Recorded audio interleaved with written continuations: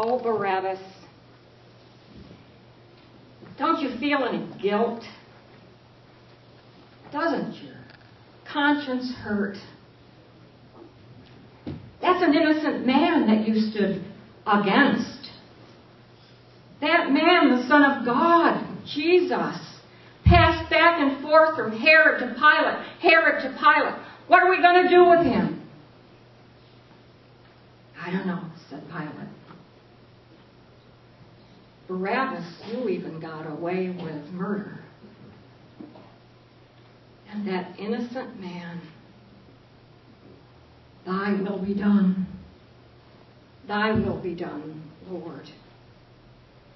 Barabbas, don't you struggle with something this day, even to this day?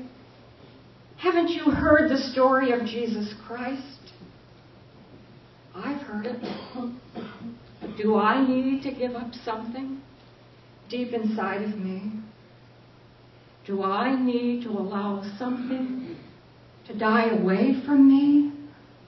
Oh, Barabbas, that innocent man took your place because the leaders couldn't decide your innocence. And the crowd said, Crucify him! Oh, Barabbas, is there a little of you in me? Thy will be done, Lord. Thy will be done.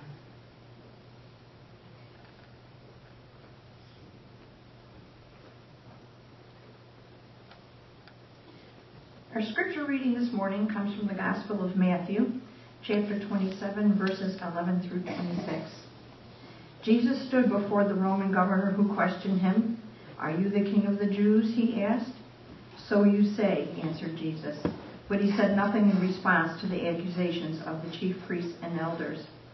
So Pilate said to him, Don't you hear all these things they accuse you of? But Jesus refused to answer a single word, with the result that the governor was greatly surprised. At every Passover festival, the Roman governor was in the habit of setting free any one prisoner the crowd asked for. At that time, there was a well known prisoner named Jesus Barabbas. So when the crowd gathered, Pilate asked them, Which one do you want me to set free? Jesus Barabbas or Jesus called the Messiah? He knew very well that the Jewish authorities had handed Jesus over to him because they were jealous. The chief priests and the elders persuaded the crowd to ask Pilate to set Barabbas free and have Jesus put to death. But Pilate asked the crowd, Which one of these two do you want me to set free for you?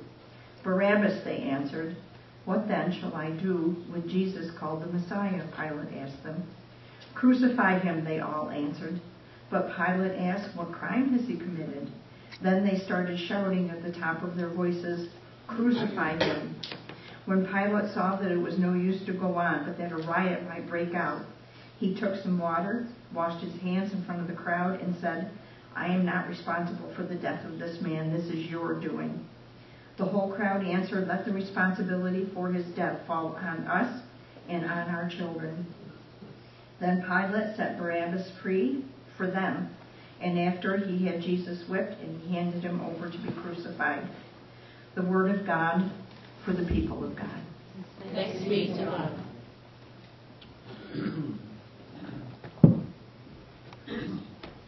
probably don't know me personally. But I bet you know about me. And I have been known to be kind of a, a wild head. I've been known kind of to be a radical. I mean, you show me a system and you can already tell I'm against it. But I didn't come here to tell you about my story so much as, as I came to ask a question. I came to ask a question that I hope you'll help me answer. Why, why did he choose, why did they choose me over him? My name is Barabbas. I was the one that the crowd chose instead of Jesus to be set free. But my name also means son of the Father, like a rabbi or a teacher. And how ironic is that? That my name is called Son of the Father, and yet the Nazarene declared that he was the Son of our Father God. But why? Why would they choose me over him? Why would they choose me over him? The Nazarene and I, we grew up together in Galilee. We love those old time religion of, of Moses and Elijah and, David. And, and because we grew up in Galilee, we always believed that the only good Roman was a dead Roman. And our neighbors to the south of us, we couldn't understand that the Samaritans, they were always arguing some, some old time war about whether the temple should be in Jerusalem or should be in Bethel. When Jesus grew up and left Nazareth, I didn't see him that much after that. He uh, ended up taking up, I understood, with that desert hermit named John, and, and I took up with, with the Hill Country gang.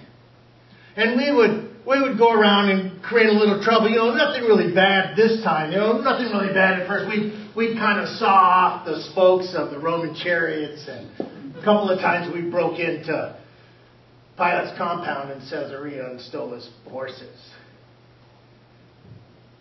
And yeah, we would go through Judea and raid some of the towns, and the local yokels, they would try to catch us, but they were never successful. And I'm not even sure they really wanted to.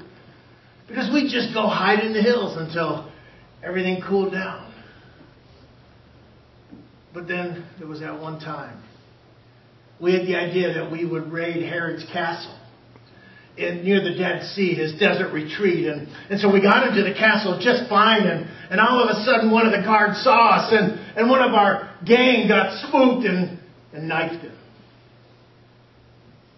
Most of us got away, but Herod's men, they tracked me down. And I was convicted of murder and resisting the government by force. And that's how I ended up on that day. Like I said, I don't know where Jesus went after after we grew up in Nazareth, but I heard that, that he began teaching and preaching about, about the real meaning of the old covenant. And, and uh, he, would, he would teach and preach about, about the love of God and the coming of the kingdom. I also heard that he healed the people who were sick and, and, and brought healing to those who felt broken. And, and one day I heard he raised somebody from the dead in Bethany. I, I've heard those stories before, though. There's always some trumped up person that pretending to be the Messiah. And it always happens that whenever they do that, they end up they end up hanging on a cross. But Jesus was a preacher. And although he told our leaders that they were nothing better than whitewashed tombs and, and that the God, Lord Yahweh, is the true God and not Caesar, he wasn't a political person, but, but he had a lot of followers. Even people in the upper classes followed him. And, but I never, I never felt like he really knew who he was. I never felt like he was the kind of person someone would, would want to kill.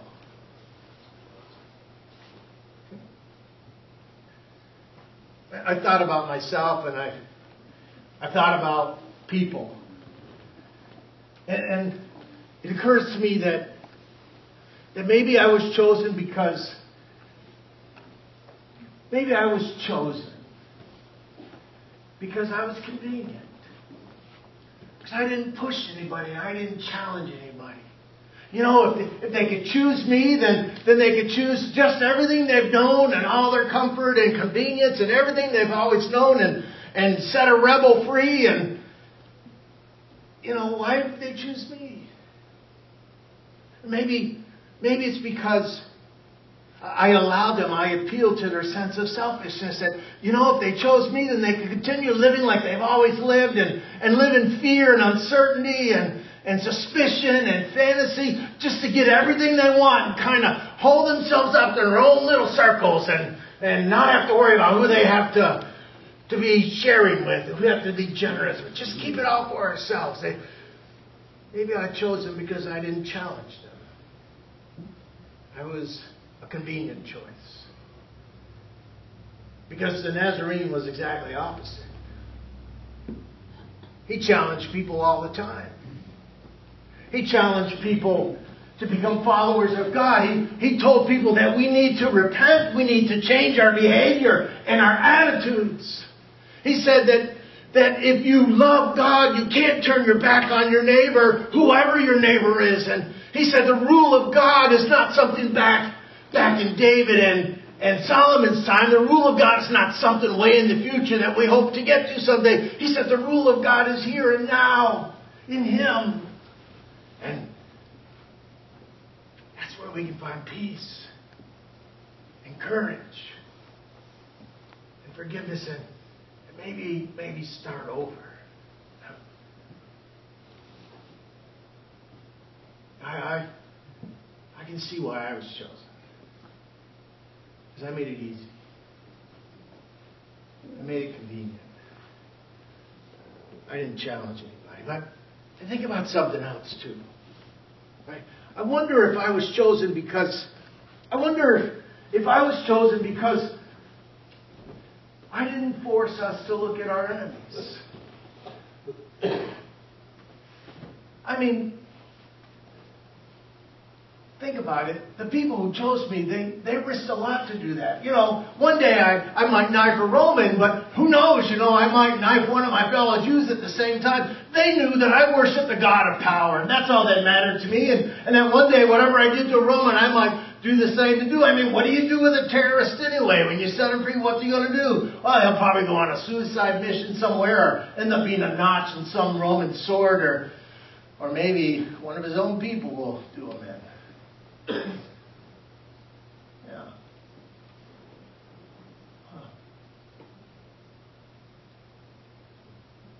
But Jesus, he was different. he challenged them and challenges us. Not just the people then, but he challenges us. I mean, you think about how we like to look at our enemies. Our enemies, we like to think, are all outside of us. You know, what? the Romans who are in control of our land and, and don't give us any peace, or, or Herod who takes all the money for himself and lines the pockets of, of those he cares for and his minions and his people. And I've seen our own people starving just to feed his table. And you know, by, by choosing me, then we can always think about the enemies outside of us. But, but the Nazarene challenged us to look at the enemy inside. It reminded us that there's still a little bit in each and every one of us that, that chooses evil, even when we want to do good, that, that becomes selfish or, or self serving or choose for the convenience over sacrifice, choose over serving ourselves rather than serving someone else. That there's an enemy inside of us that He called us to look at and to be aware of and to claim and to call out and to allow God with our open hands to take.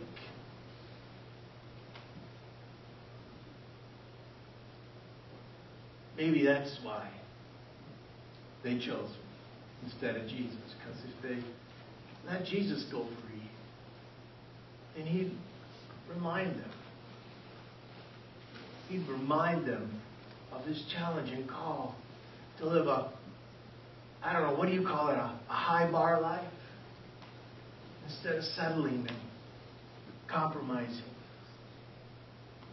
But I think he they chose him because if he lived, then he would have challenged them to, to confront the enemy inside of us. I think that's always the harder one to see. You know, I, I wonder sometimes. I wonder sometimes if we're not that different from the crowd.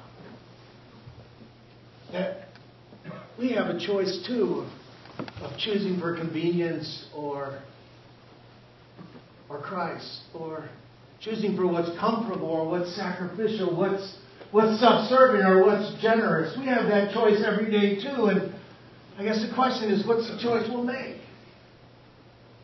You know what? What has to die in us? So Jesus becomes known.